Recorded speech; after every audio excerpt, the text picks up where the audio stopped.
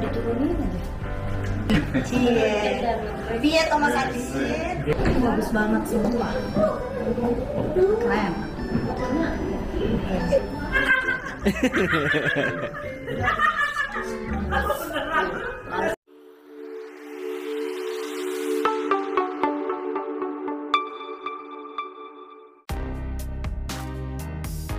Ayu Ting Ting kembali membuat geger publik dengan kabar terbarunya. Pedangdut cantik ini terciduk fitting baju pengantin, menguatkan rumor pernikahannya yang semakin dekat. Sebelumnya, Ayu Ting Ting dikabarkan telah dilamar secara diam-diam oleh seorang pria bernama Muhammad Fardana, seorang anggota TNI berpangkat Letnan Infanteri. Meskipun sempat dibantah oleh ibunda Ayu Ting Ting, Kabar ini semakin diperkuat dengan beredarnya foto undangan pernikahan yang mencantumkan nama Ayu Rosmalina, nama asli Ayu Ting Ting, dan Muhammad Fardana. Ayu Ting Ting sendiri mulai terbuka tentang hubungannya dengan sang kekasih.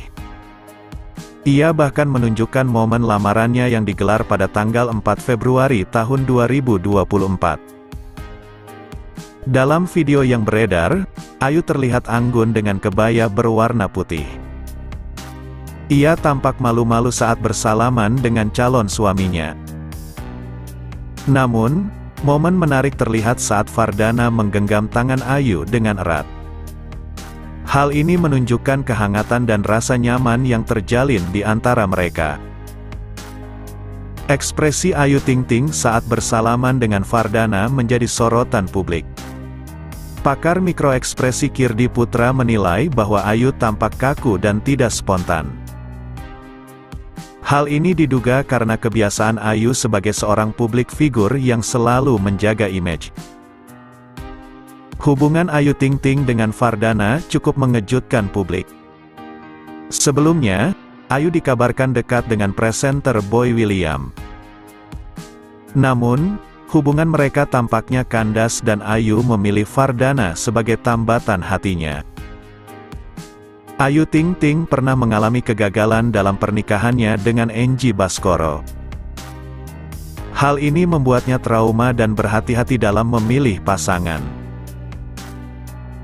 Namun, tampaknya Ayu telah menemukan kebahagiaannya bersama Fardana. Kita doakan saja yang terbaik untuk hubungan mereka. Kabar pernikahan Ayu Ting Ting dan Fardana semakin santer terdengar. Fitting baju pengantin yang dilakukan Ayu menjadi pertanda bahwa pernikahan mereka semakin dekat.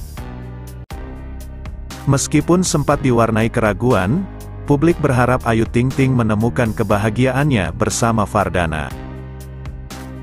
Semoga pernikahan Ayu Ting Ting dan Muhammad Fardana membawa kebahagiaan dan kelancaran. Dilansir oleh timesumut.com pada kanal YouTube at Insert Pagi, pada Senin tanggal 12 Februari tahun 2024.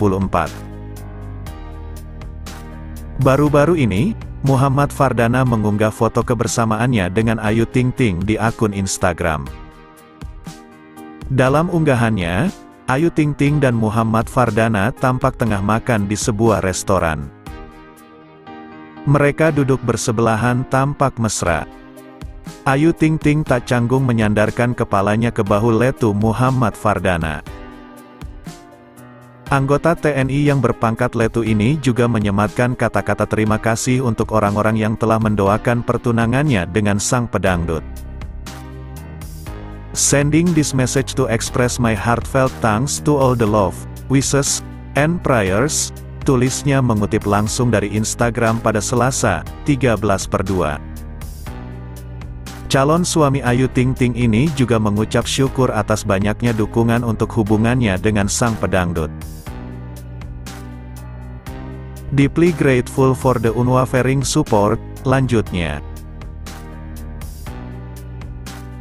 Siapa sangka, pada kesempatan itu Letu Muhammad Fardana juga membongkar awal-awal saat dirinya mendekati Ayu Ting Ting. Kenalan lewat telepon, Muhammad Fardana dan Ayu Ting Ting ternyata berkomunikasi via pesan langsung Instagram.